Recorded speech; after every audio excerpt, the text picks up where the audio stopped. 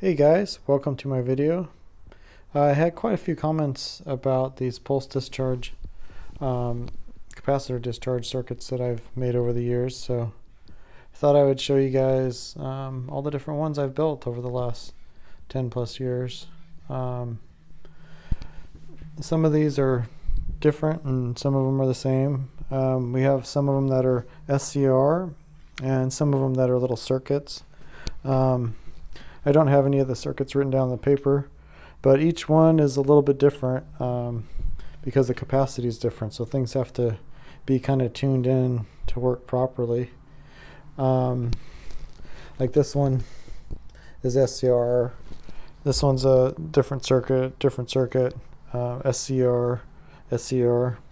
Um, this is 12 volt for 12 volt batteries and motors. This one's 12 volt.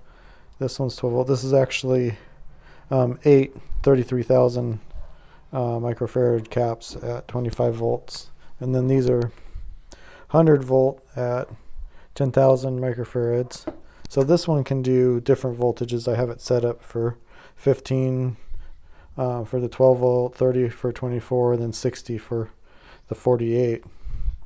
Um, and then this bigger one back here, um, these are the same size as these, just a, a different manufacturer. Um, there's actually 16 of those, and this is a just a big SCR circuit like I showed the other day. Um, this one I actually made um, for this boat motor, for this outboard motor one, um, but I ended up using these big monsters for it. So these are um, these are the output capacitors, and then this is just to smooth out um, all the pulses going in between on it. Um, and then these capacitors, uh, you've seen in my videos, this just has a straight diode on it to charge a battery. So this is if you want a constant current. Um, this one's 16 volts at 76,000 microfarads. Um, this big white one right here is more of a high voltage one. It's 400 volts, 3300 microfarads. I use that for converting the spikes to run lights and different things at you know the 48 volt motors. Um, and then this big monster right here, this is actually uh, a 1.3 farad um, 25 volt capacitor. So that's a monster one. So each of these have their place in my experiments. Uh, I've just kind of accumulated a lot of them over the years. Um, they kind of have to be set up for a certain size motor and set up for a certain size battery because you don't want to put this into this battery because um, if the spike's strong enough it could actually um, make it explode. So you have to be really careful with what you're doing. Um, this size capacitor should be you know at least a 100 amp hour battery.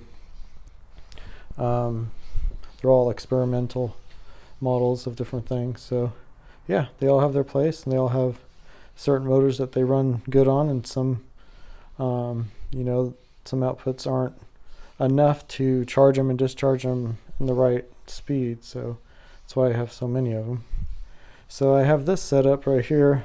Um, this is one of my first marine motors I made um, just to charge this capacitor so you could see how the output goes on this big monster. Um, so basically this one goes at about an amp and a half and this one dumps out 25 to 30 amps depending on how low your battery is how much it's going to take on each pulse so let's fire this experiment up and you'd see what happens so this is the battery voltage of that battery this is the amp amp meter coming off for the capacitor and then this is the capacitor sitting voltage um, for the moment this one fires right around 16 16 and a half volts so you'll get to see that.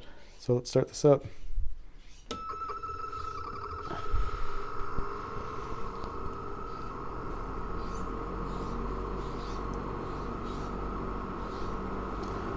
So if you look,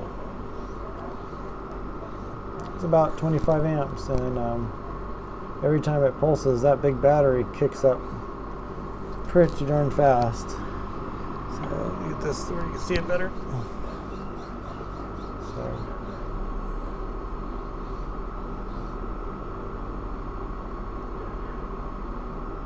That's about every four seconds or so. But every time that hits and that battery reacts to it. Um, this motor is using about right around three and a half, three and three quarter amps at 12 volts. We're just running this fan like we did on one of the previous videos. So let's take a look. See that 12 volt battery just bouncing way up there.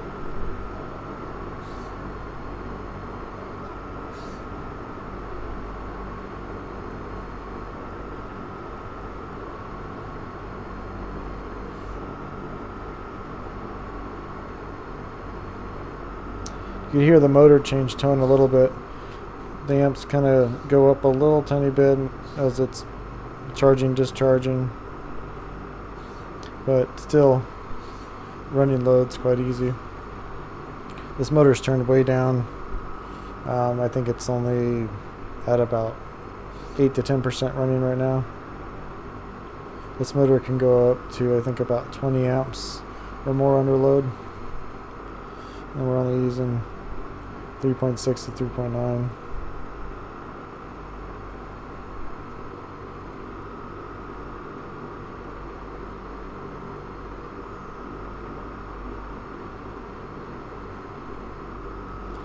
So, tell me what you guys think on comments. Just go back over these real quick.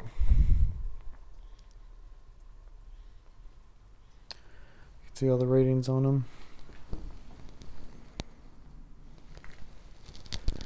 And these big monster capacitors, they're pretty big. Thank you for watching my videos.